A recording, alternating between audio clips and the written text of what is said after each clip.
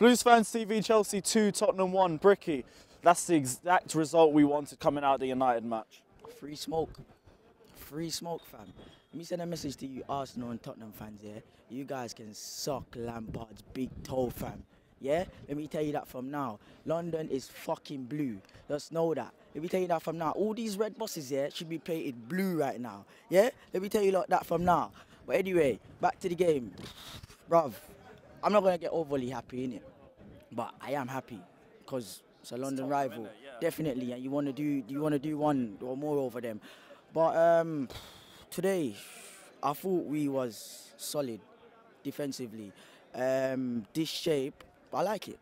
I like this this this this this um, three or five at the back, whatever you want to call it.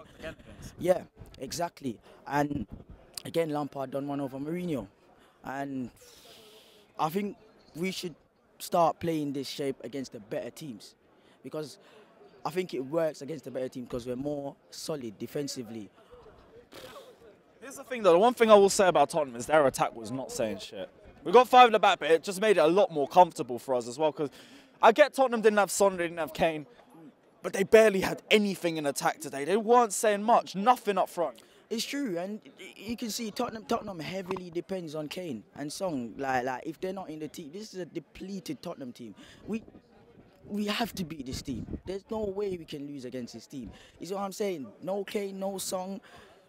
Dele Alli half injured, head not in the game. We have to beat this team. And as I said, I'm not going to get overly happy because this team has been way too inconsistent this season, this Chelsea team. And we might win today and then lose against Bournemouth.